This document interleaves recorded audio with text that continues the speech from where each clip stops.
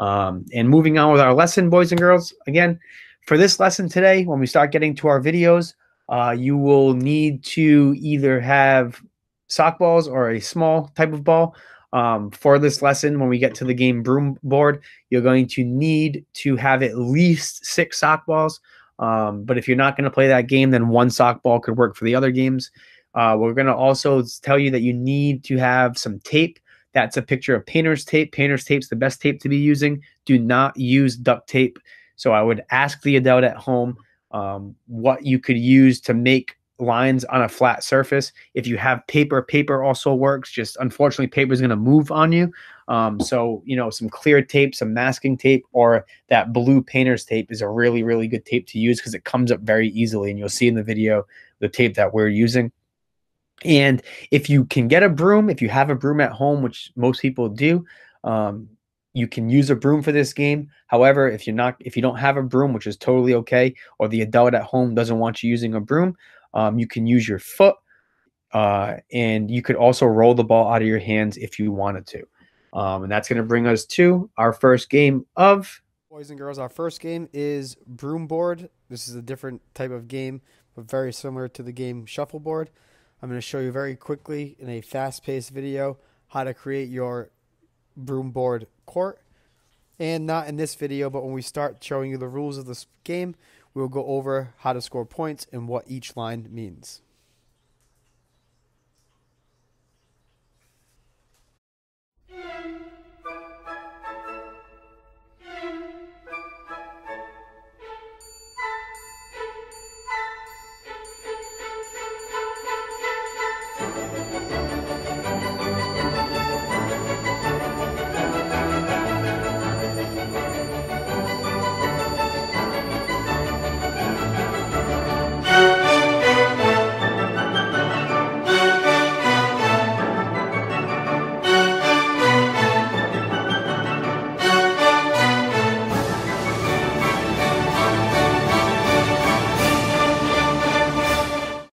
If you are going to use a broom for this game of that we're going to call broom board, just try to remember our rules that we used when we had uh, when we were playing hockey in the gym.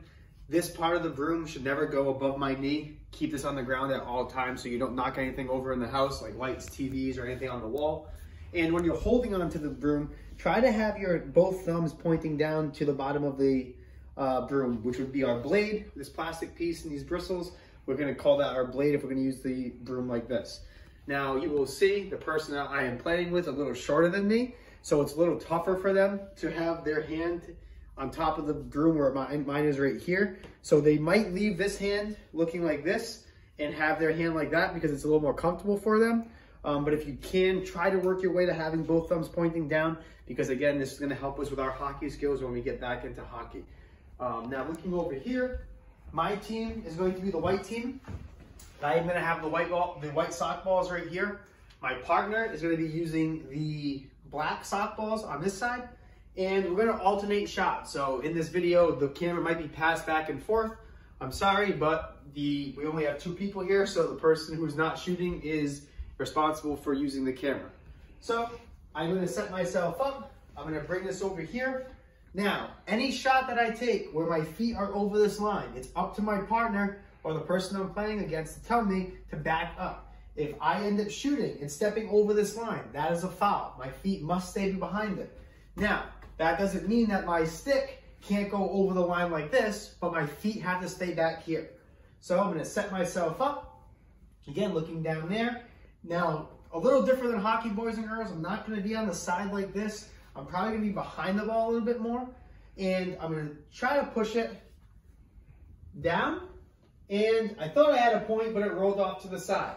And if you remember the videos we showed about bowling, boys and girls, it's very important to try to have a ball that's completely circular or completely like a sphere so that when it rolls, it does not roll too much to one side and you get a straight roll.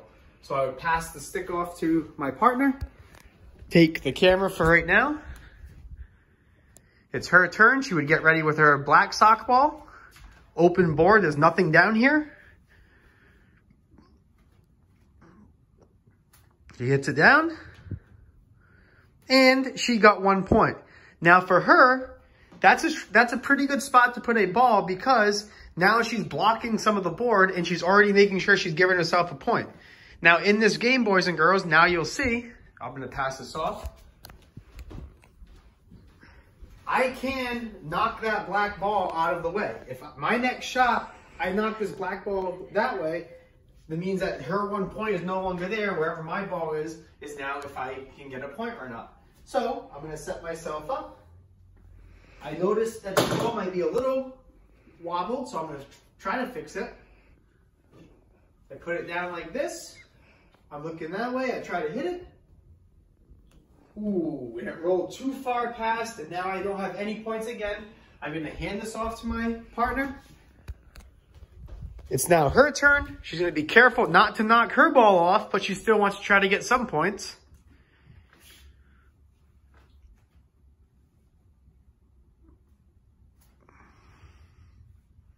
Ooh, great roll.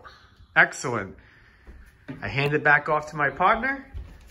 We are down to our final roll. Now, when we get to our final roll, we're gonna have to count up our points.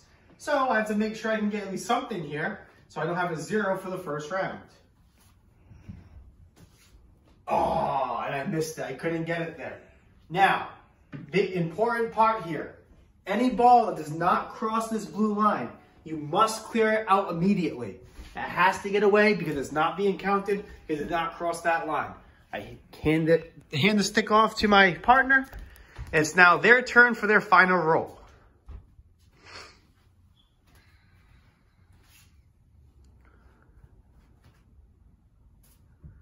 Come down here to get our score. The first rule we're gonna follow is that we're not touching any of the sock balls until my person that I'm playing against and I have agreed upon what the score is for this round.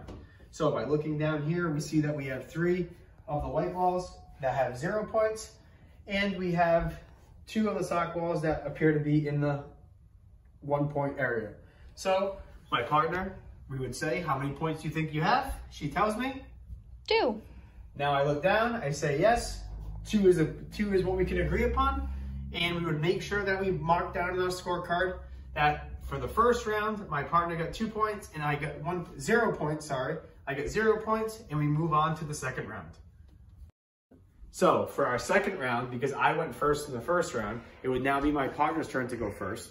So she would get the stick and now she is starting to get her first roll in for her second round. Again, she has the black. She rolls it down. Ooh, that was a good one and it just veered off to the right for no points. She would hand me the stick.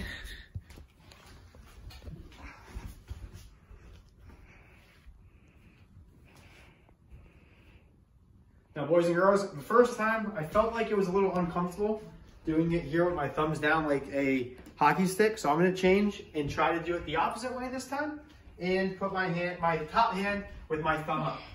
I get down here,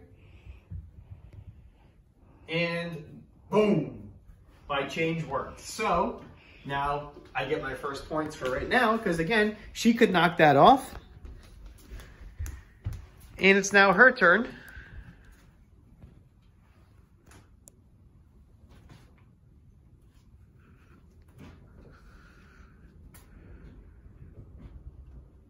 Ooh, very good roll. Now, I'm going to leave that right where it is. Because again, we want to leave all opportunities to get more points or knock some other person's ball off. I'm here, getting ready. I'm gonna go down, pass the ball down. And boys and girls, let me just explain this to you again. This is a very good roll because I protected this ball. If even if my partner, I was gonna call you Mrs. Powers, but my partner was able to knock this ball off, this ball would still be in a good spot to get one point. So now it's my partner's last turn.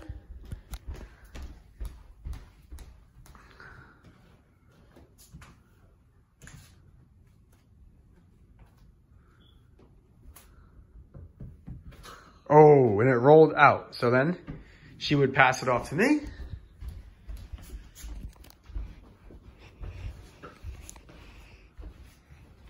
I would get my last ball here.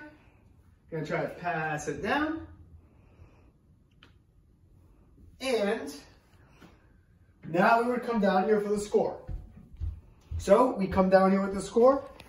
And I'm gonna look down and I say, I think I have three points. And I think my partner has two points. Now my partner has a ball that looks like it could be on the line. However, when we get down really close to it, we see that even though it appears to be over the line, it still is not touching it. So that would be still two points. So I tell my partner, I think you have two points. I think I have three, point, uh, three points. And I would ask her if she agrees. She gives me a thumbs up. So we know that we are good to go to the third round. And you would keep on playing. Now, again, we can clear the board. And you would keep on playing boys and girls until you get done with nine rounds and add your score up at the end and see who got the most points for our game of broom ball.